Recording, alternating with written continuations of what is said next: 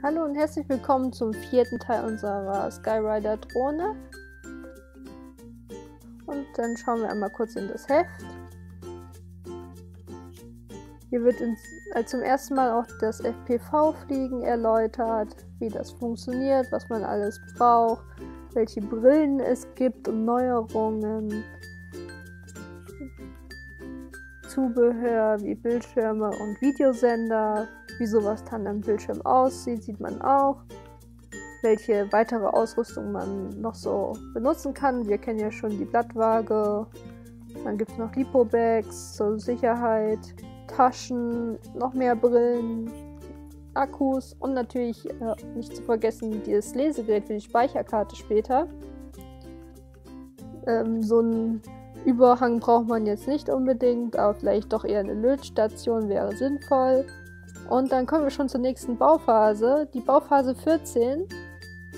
Und äh, im Paket war unter anderem diese große Platte. Das ist die Hauptplatte von dem Copter. ein Propeller, dann haben wir schon mal drei. Ein Regler, noch ein paar Abdeckungen und noch ein paar LEDs für einen weiteren Arm. Die LEDs äh, kann man erstmal wegpacken und den Propeller. Wir kommen jetzt zum nächsten Teil. Ich habe schon mal alles ausgepackt, die Schrauben hingelegt und schaue mir das Ganze erstmal an. Und zwar brauchen wir die Klettbänder aus dem einen der letzten Pakete. Und die muss man laut des Bildes einmal einfädeln. Und zwar die raue Seite Richtung des Chassis und die andere Seite nach oben.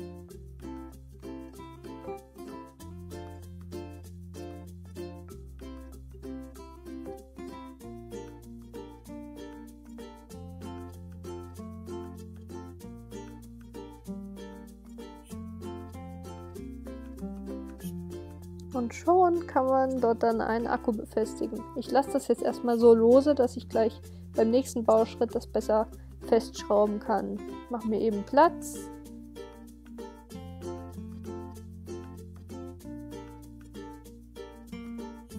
Und zwar benötigen wir dieses Landegestell aus einem der anderen Teile, was wir schon gebaut haben. Ich drehe es eben noch zurecht. Und zwar kommt das dann so auf diese Seite dran. Das sieht man hier nochmal ganz genau, die, was vorne ist, was hinten. Schaut euch unbedingt die schönen Bilder an. Da seht ihr nochmal alles, wie das festgemacht wird.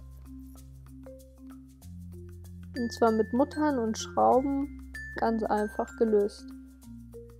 Leider sind die, äh, ist das Landegestell dann nicht klappbar, aber das ähm, hat den Grund, weil dann dort die Kamera befestigt wird.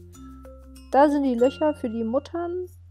Die muss man so ein bisschen reinfriemeln, das ist vielleicht ein bisschen schwierig. Nehmt euch vielleicht äh, den Schraubenzieher zur Hilfe, der mitgeliefert wurde. Und ich lasse das mal eben etwas schneller laufen.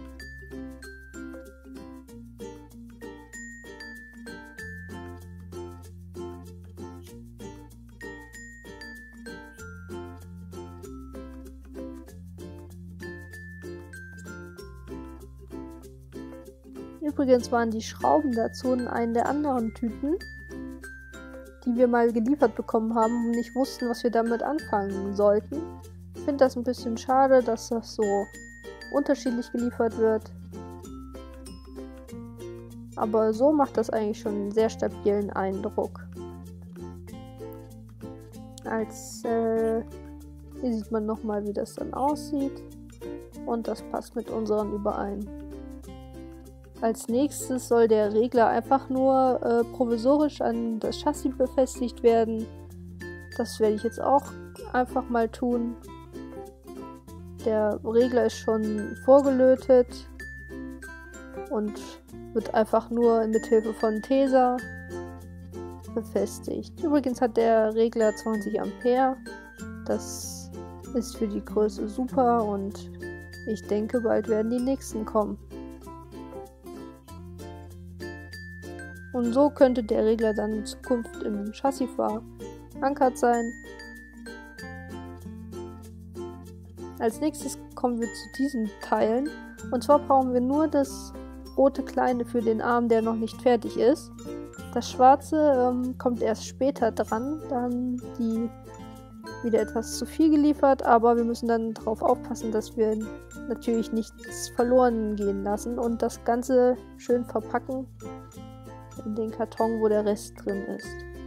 Ist eine kleine Friemelarbeit, aber das kriegt ihr sicher super hin. Und schon ist es drin. Die Oberseite ist immer noch geöffnet und äh, hinten sind die äh, Arme dann schwarz. Das ist ja auch der hintere Arm. Und die bleiben erstmal ab, weil das erst später drauf kommt, wenn der Regler durchgeht. So, und dann war es das schon. Hier sieht man nochmal eine schöne Übersicht, was wir schon gebaut haben. Und ähm, auf der gegenüberliegenden Seite sieht man dann, was wir noch an Einzelteilen hat. Und dann sieht man mal, wie viele Schrauben wir noch zur Verfügung haben. Also passt auf, dass sie nicht wegkommen. Ich packe die restlichen Sachen noch in die Tüte rein und äh, das Ganze kommt dann in meinen großen Pappkarton. Der Prop und die LEDs, die über sind, kommen ebenso verpackt äh, dort rein und äh, dann sind wir schon am Ende. Ich würde mich auf jeden Fall freuen, wenn mal der ein oder andere Kommentar ähm, hinterlassen wird. Vielleicht einen Daumen nach oben. Oder wenn ihr einfach mal meinen Blog besucht. Dort findet ihr nämlich auch noch ein paar Detailbilder und noch die anderen Teile mit Bildern.